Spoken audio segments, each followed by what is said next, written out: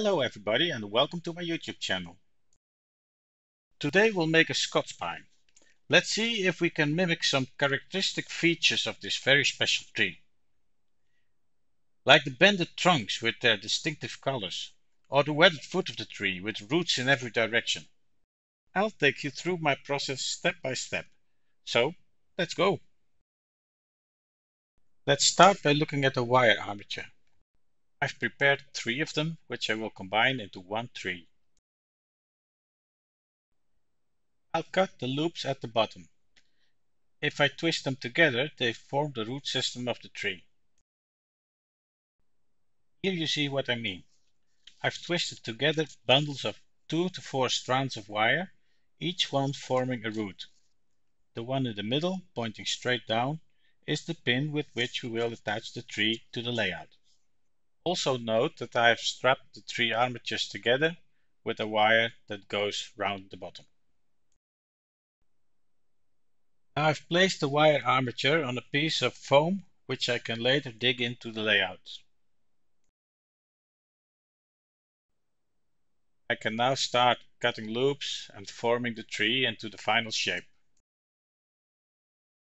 Now that I'm happy with the basic form of the tree, I can start applying modeling paste to give the tree its final shape.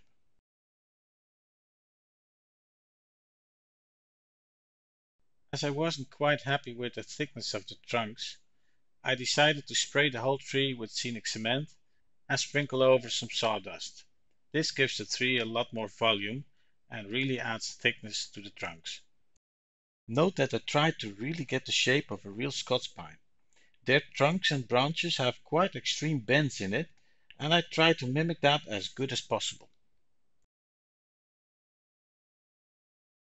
You see me coating the tree here.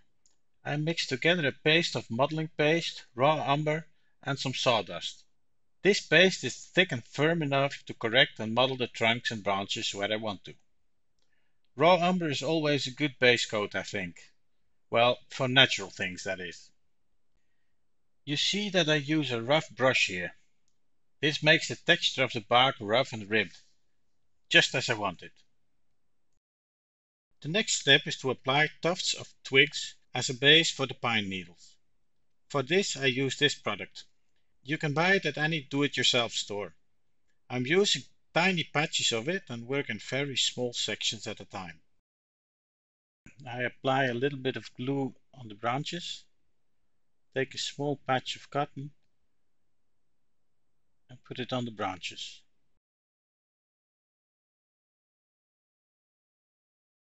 Now it is very helpful if the branches are bended in such a way that they form sort of an outstretched hand on which the patches can lay. This is easier in the drying process as the wool doesn't fall off. From here on it's a simple process of glue and repeat, glue and repeat. And as this is a bit boring, I present you the final result.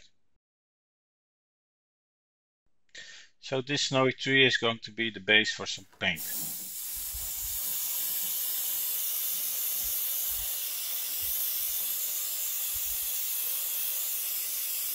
I'm looking for this warm, almost orange color that real Scots pine trees have. So I mix a rust color with yellow and after spray painting it I touch up the trunks and branches to get the desired effect.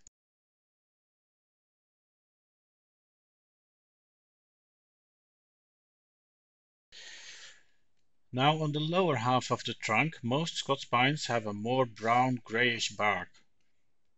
So by painting over the tree in a brownish, greyish, greenish color I try to replicate that. This is a tedious, time-consuming process. But hey, I'm spending time on my hobby, which is better than being at the office. So before we go any further, there's some pruning we have to do. I'm just cutting away some excess hairs here to make sure that the tree has the shape that I want. So let the greenery begin. In this box I've mixed together a mixture of Woodland Scenics Fine Turf and Woodland Scenics 2mm static grass in a 50-50 percentage. So I apply this with a very small spoon and I try very hard not to hit the trunks with any green because they're also soaked with scenic cement. Now at first I try to reach the hardest to reach parts and then I move my way out and upward. You see that the tree is coming together nicely, but after I was finished, I did it a second time, just to cover the branches really well.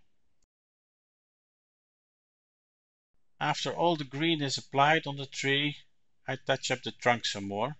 I'm using pastels for this, and I'm especially using a skin tone, a dark umber, and some green to touch up the trunk real nice and to give it that really realistic matte finish. For the final step I touch up the base a little. Some moss, some dead needles, some color.